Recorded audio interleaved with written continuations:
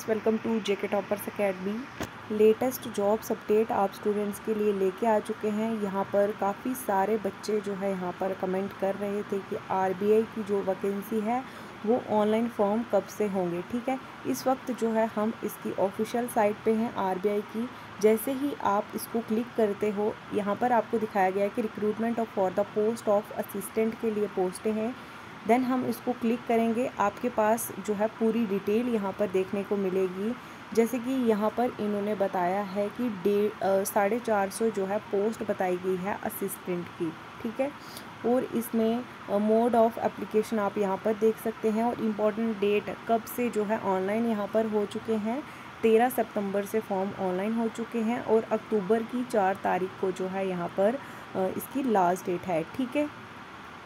और यहाँ पर अगर आपको ये फॉर्म अप्लाई करना है eight zero eight two eight seven four one one zero पर हमें व्हाट्सएप कीजिएगा। फॉर्म यहाँ पर आपका हम जो है फिलअप करके दे देंगे, ठीक है? और यहाँ पर आपको बताएँगे कि ऑनलाइन इसमें मतलब आपका सिलेक्शन किस तरह से रहेगा। सबसे पहले जो आपकी सिलेक्शन है, इसमें आपका प्री टेस्ट होगा, ठीक है? जो कि इन्होंने टेंटेटिव यहाँ पर डेट दी गई है। फिर आपका ऑनलाइन मेन टेस्ट है, उसकी भी टेंटेटिव जो है इन्होंने यहाँ पर डेट आउट की गई है, ठीक है? और उसके बाद जो है यहाँ पर आपका इंटरव्यू लेंगे या फिर आपका जो है एक लैंग्वेज टेस्ट होता है, यानी कि जिस लैंग्वेज को आपकी जो ऑफिशियली लैंग्वेज है, जो आपकी, उसका एक टेस्ट रहता है, ठीक है? अब यहाँ पर आपको बताएँगे, देखिए आपको स्टेट वाइज जो है आपको वैकेंसी देखने को मिलेगी और कैटेगरी वाइज भी आपको यहाँ पर वैकेंसी देखने को मिल रही है, ठीक है? तो जल्दी से आपको फॉर्म अप्लाई करना है तो अप्लाई कर लीजिएगा, ठीक है? ये आपको पीडीएफ हम प्रोवाइड करेंगे, हमारे टेलीग्राम चैनल पर टेलीग्राम का लिंक जो है वो मिल जाएगा डिस्क्रिप्शन बॉक्स में, वहाँ पे जाके जो है आप इस फॉर्म को जो इस पीडीएफ को जो है अच्छे से रीड कर सकते हैं, ठीक है? नेक्स्ट बात करेंगे और इस पीडीएफ में क्या बताया है। अगर कोई कैंडिडेट जो है person with benchmark disability है तो वो भी अप्लाई कर सकता है इस फॉर्म को। इस तरह से नहीं है कि अप्लाई नहीं कर सकता है, वो भी अप्लाई कर सकता है, ठीक है? और यहाँ पर आपको गाइडलाइंस दी हैं, कुछ वो आप रीड कर लीजिएगा अगर हम रीड करेंगे तो वीडियो जो है वो काफ़ी लंबा जो है वीडियो हो जाएगा। यहाँ पर बताया गया है कि इस फॉर्म को कौन अप्लाई कर सकता है। देखो मेल फीमेल दोनों अप्लाई कर सकते हैं। यहाँ पर ये जो वैकेंसी है इंडिया नेपाल और भूटान के लिए दी गई है। ये वाले यहाँ से कोई भी अप्लाई कर सकते हैं, ठीक है? बाकी भी स्टेट्स के हैं, वो भी अप्लाई कर सकते हैं, ठीक है? वो मैंने आपको बता दिया है। बाकी इसमें बात की जाए एज तो एज जो है, यानी कि ट्वेंटी से एज स्टार्ट की गई है और ट्वेंटी एट तक जो है फॉर जनरल कैटेगरी की ट्वेंटी एट तक लास्ट एज होनी चाहिए।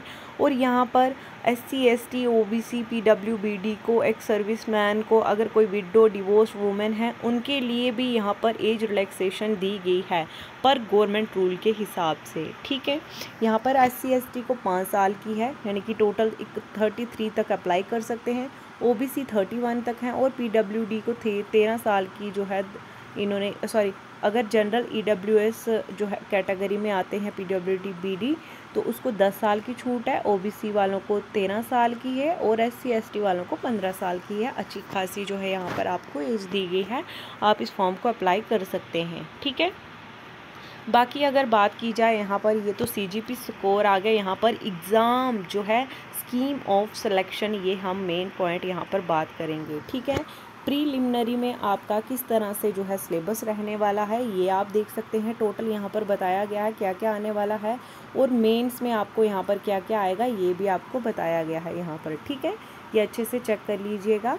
और बाकी यहाँ पर जो है, नेक्स्ट आपका जो है, थर्ड पॉइंट जो है, वो लैंग्वेज प्रोफेशनल टेस्ट होगा, जो आपकी ऑफिशियल लोकल लैंग्वेज है, उसका टेस्ट रहेगा, ठीक है? पर पहले प्री होगा, फिर मेन होगा, उसके बाद जो है यहाँ पर, ठीक है? और बाकी हम बात करेंगे यहाँ पर पे स्केल की।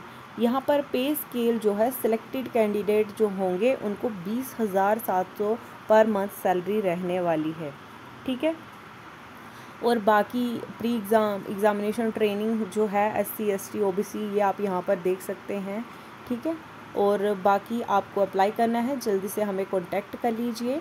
फ़िलहाल के लिए इस वीडियो में इतना ही था। और एक और अपडेट देते चलते हैं यहाँ पर कि एसएससी दिल्ली पुलिस कांस्टेबल के यहाँ पर फॉर्म लग रहे हैं, जो कि ट्वेल्थ बेस पे हैं। और इस फॉर्म की जो थी क्वालिफ़िकेशन वो सिंपल बीए आप होने चाहिए। ठीक है? यानी कि ग्रेजुएट होने चाहिए। तभी जो है आप इस फॉर्म को अप्लाई कर पाओगे और एसएससी दिल्ली पुलिस कांस्टेबल की क्वालिफ़िकेशन की बात की जाए तो उसमें ऑनली आपको ट्वेल्थ मांगी गई है, ठीक है? फ़िलहाल के लिए इस वीडियो में इतना ही रखेंगे। मिलते हैं कोई नेक्स्ट वीडियो नेक्स्ट अपडेट के साथ। Bye bye students take care